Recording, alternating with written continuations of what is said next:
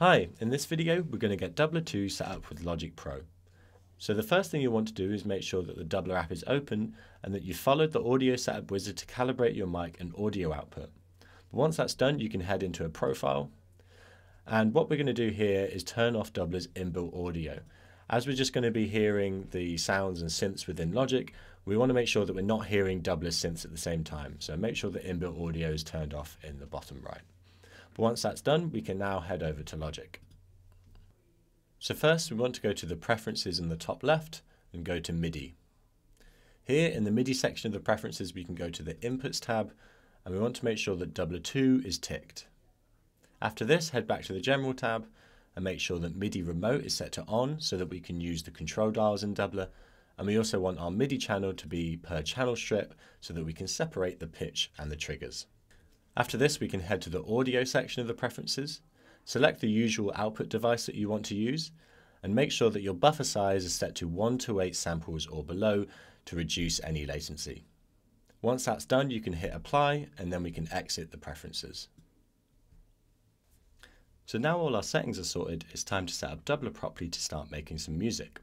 So let's first take a look at how to control drums or samples in Logic.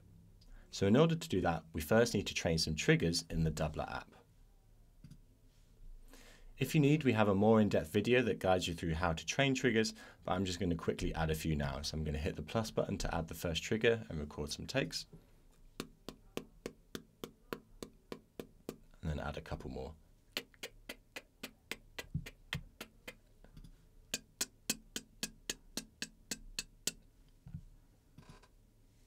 So now we can use these three triggers I've just trained to control three different drums or samples in Logic. So in Logic, you want to have a track that has either Drum Machine Designer or another plugin that has multiple samples on it. So you can select that from the library on the left. Here, I've just got this 808 Flex kit here with a few different samples in. Now on this track, we want to go to the section here, and from the MIDI imports, we want to uh, select Dubler 2, and then below that, we can also select the MIDI channel that we want to receive information from. So by default, channel 1 receives MIDI information from the pitch side of Dubler, so that's singing and for melodies. And channel 10 receives MIDI information from the trigger side of Dubler, so that's percussion and drums. So as we're using the triggers to control this drum kit, we're going to select MIDI channel 10. But make sure the track is then armed with this red R and we can use those triggers to play these samples.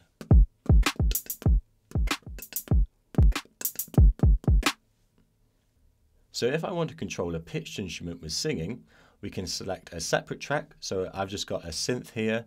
Um, I've got Alchemy set up. And again, in the track section, we can select Dubler 2 from the MIDI import. And now in the MIDI in channel section, we can select channel 1 as we're going to be singing and controlling this with the pitch side of Dubler. So before singing with this, I'm going to go to Dubler 2 and check that I'm in a key. So it's really important when you're singing to make sure you're in, you're in the right key for your idea. And we have a few different ways to do this. So we have auto key detect, or there's also the key tab. But we have an in-depth video uh, on our Learn Dubler page that um, shows you how to find the best key for your idea. But I'm just going to select C major for this.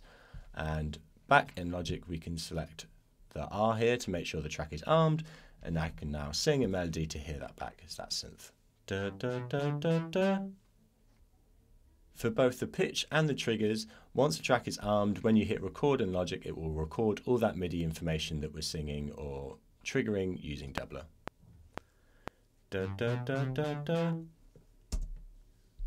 so this is how you can record live with Dubler, but you can also use the MIDI Capture plugin to record your ideas in Logic as well.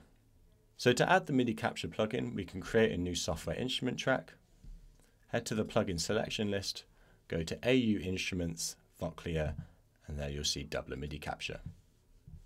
So the Dubler MIDI Capture plugin works by reflecting any settings you have in the Dubler app, but it will record your ideas directly as a MIDI clip in this plugin. The main advantage of using MIDI Capture is that it applies a cleaning algorithm to your recording, meaning it will get rid of any unwanted or accidental notes whilst you are singing, and it will save some time cleaning up the MIDI information like you might have done if you recorded live directly into Logic. So to record using MIDI capture, you can simply hit the spacebar and sing your melody as you usually would.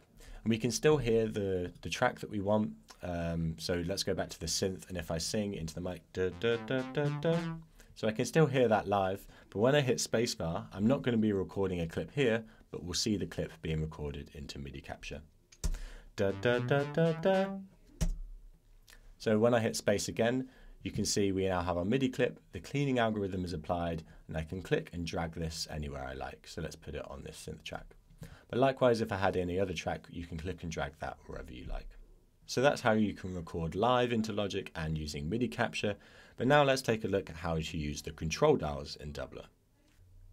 So in Dubler, you'll see four dials on the right hand side of the play tab, and these are the dials E, R, U, and ENV, meaning the envelope of your voice.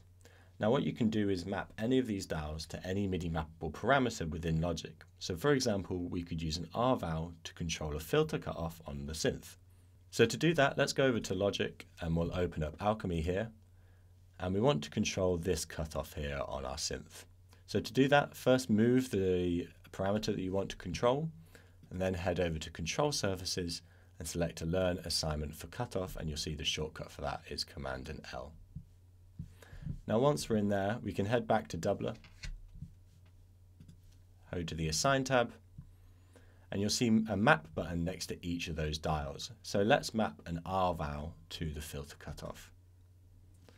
So once that's done, in Logic you'll see in the controller assignments window that this is mapped. We can exit this. And now when I move from an E to an R, you'll see that this dial moves with it.